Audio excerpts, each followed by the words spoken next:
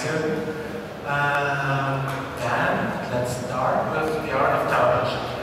What's the art in this point? That's just an acronym for the automatic regression testing. And the question, of course, is why is regression testing a good idea? As this small comic here shows you, it's, unfortunately, it's quite common if you touch some parts in your code, for example, if you touch the login, it happens quite often that you introduce several new bugs in your code and Yes, of course you have unit tests, you're testing your new feature, but maybe those bugs are in a completely different part of your project and they slip. How, how could you check this? You do automatic regression testing, especially regression testing, but why should you do it automatic? Well, the first point, manual testing is really time consuming. So if you think about, as you told you, we've got a couple of apps that we try to make the whole regression testing for all of these apps, all of the time again, every two weeks of our sprint ends, we had a lot to do.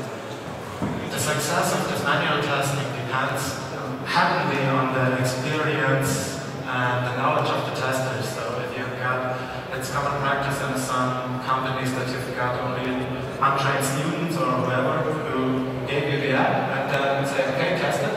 And then the, most problematic bug would certainly slip because the tester simply doesn't know how to do it. The next point, this can of course lead to the defect leakage due to human miserror. Maybe because of the knowledge that's missing or of some other reasons. Then especially on the Android side, there's a huge number of devices. There was a small study in 2012. There was around 4,000 distinct devices only on the Android side.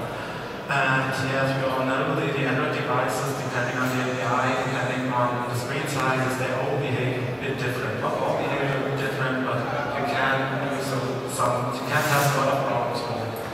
And the next thing, especially for regression tests, if your tester are doing every time the same as to log in a user, to register a user, you will definitely lose the interest sometime. And then you've got mostly a problem because then also will problems will sleep. So that's where Calabash comes into play. What's Calabash? Calabash is a tool for automated cross-platform mobile systems. Testing.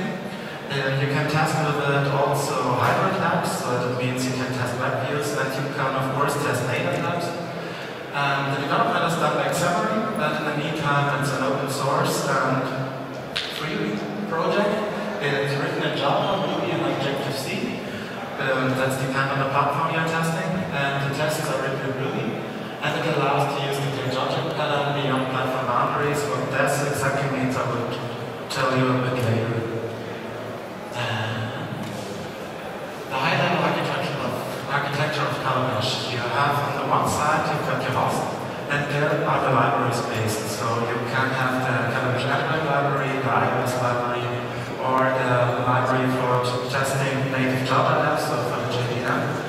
And this host sends commands to your device.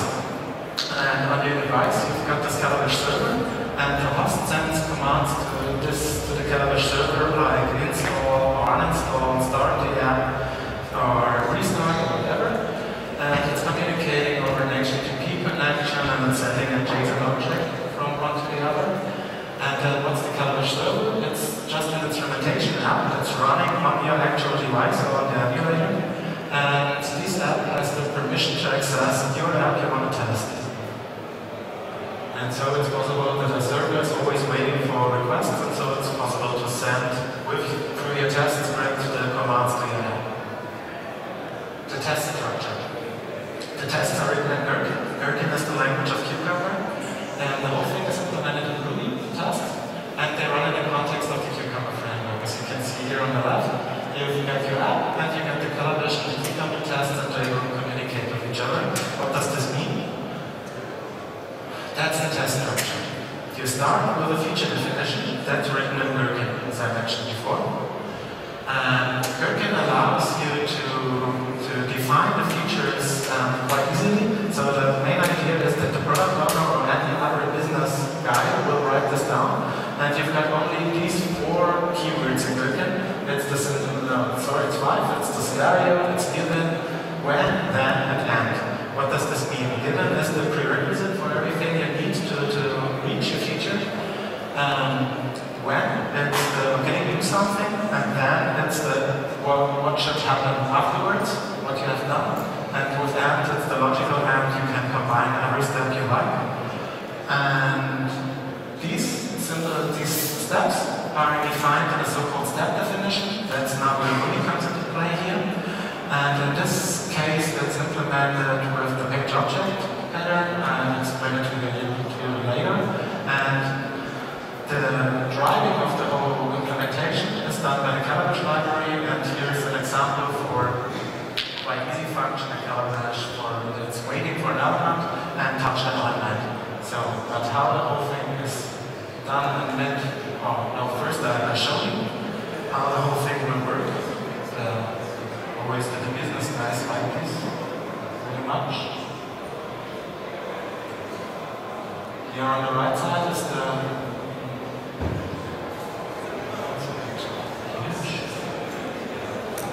So here you can see I've just started a predefined script. It's for the rating game, and we are testing our 4040 map. That's the main project we've got in the moment. And we've got this small onboarding tour. If you reinstall the app at the first test, just switches through this onboarding tool.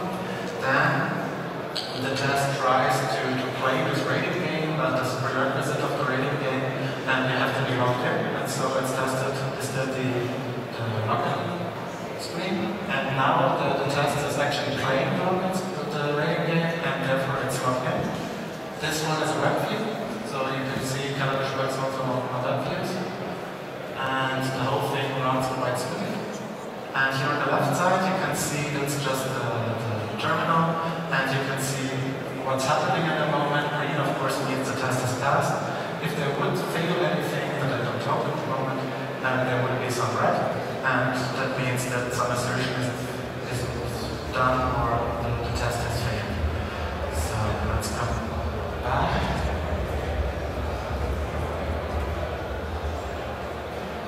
So to go a bit more in detail, here's the example of showing you I did before. That's the feature definition, it's just a plain text file, and the business guy could wrote our PO from the 4040 project and didn't know anything about Gherkin before he started the project. Then we, he needed, I think, 10 days to, to learn it, to, to write down the feature files and the syntax that helps us pretty much to, the tests. And here on the right side, you can see the terminal, and here is a thing that the, the, server issue and we couldn't reach the pictures, and Calabash recognized this, and then the test has failed. And, down here we've got uh, the sum up of the three scenarios, both steps, one failed, and 11 has passed. So that's the overview of the whole thing. How we could do it. First of all, we need to query the objects we, we want to play with, want to interact with in our automatic tests. That's Calabash gives us the possibility to query all visible objects that are currently there in the current activity. But they have to be visible, and there's another drawback, they don't allow to animate at this time, very query. So how's the querying work? How does it look like? It's just a sequence of expressions, and all of and all the types of this expression are the class name, it's a filter or a DOM. So if you look at this example, here there's the class name. So in this case, we are looking for an image button. The ID is a filter. We are looking for an image button with the ID up and left button. And at this time, we are running this test. The whole thing, uh, the button has to be enabled. And down here is another one. It's another small example. And in this case, we are looking for a custom view that we implemented ourselves, or the image view. And the ID is the record button, and this time it has to be false. So it's not able to it in the moment. So as I said, it's also possible to, to filter with a query.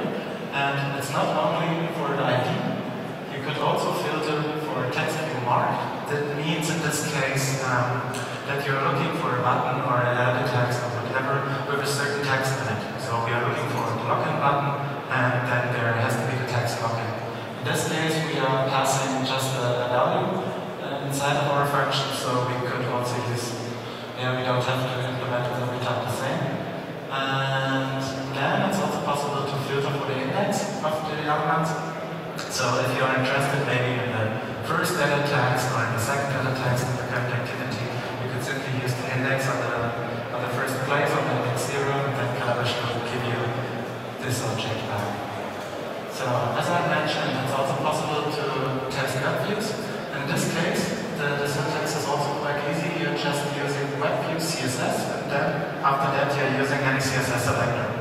And here are some cases that are querying for a username, for a password. That's exactly the implementation of the thing you saw before, where I'm trying to, where the Calabash test is logging in.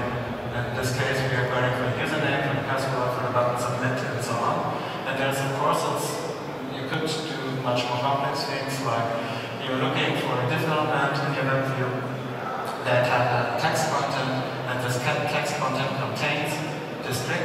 It could also be begins with or ends with, so it's possible to really find every element in, in your web view and interact with it.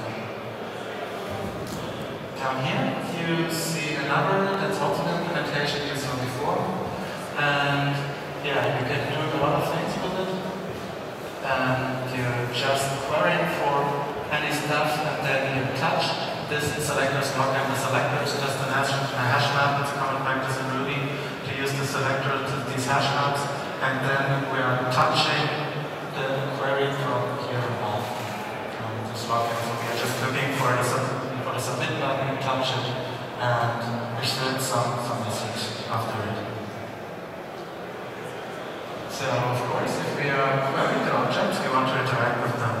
Calabash gives us a whole bunch of possibilities to do this. For example, for example, this is this wipe. So it's quite easy to use. You just use this perform action, you give this function perform action the number function what you want to do, and then you give it some parameters. And this implementation here is looking for um, a certain category text, and, until it doesn't found it, it's wiping to the right. It's, I can show